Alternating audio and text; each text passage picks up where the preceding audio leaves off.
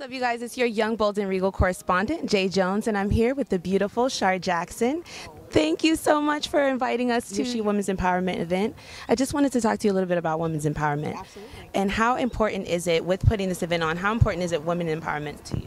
I mean, it's extremely important. I mean, at the end of the day, if you leave it up to media and society, uh, it seems like they're always pitting us against each other. They think that women should, you know, the, the shows that get the highest ratings are the women that are bickering and fighting with each other and all these things. And uh, I think it's kind of, one, it's counterproductive. Um, secondly, it um, it keeps us limited. You know, when we realize our power and our strength by coming together and supporting each other, we realize that we are an unstoppable force. And you know, some people can't handle that. You know, so I feel it's important for us to have events like this so that we can remind each other of that. Absolutely. Now, with you being the queen that you are, what makes you regal? Oh my goodness gracious. I don't know. I just try to live, you know, with the mindset of, of being regal. You know what I mean? I just, I treat everyone amazingly because I feel like everyone should be treated that way. And I think to me, having an amazing attitude and, and shining that light on other people, is, that's, there's nothing more regal than that.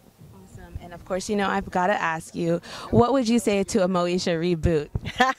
you know, we loved you on this. Yeah, well, thank you. I would say let's do it. You know, I mean, it would be an interesting story to tell but I'm of course, down. what would you say would be one of your most memorable moments, either on set or behind set from the Moesha show?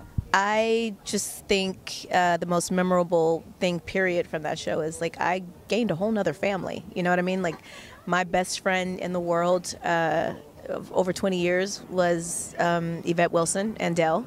Unfortunately, she passed away, so she's no longer, you know, with us. But um, but that was my best friend in the entire world, and the rest of the cast, they are my family. So I think just gaining that second family is probably the most memorable thing. Awesome. Well, we're definitely so proud of you. Thank you so much for inviting us. And again, this is Jay Jones with Miss Shar J for Young Bold and Regal.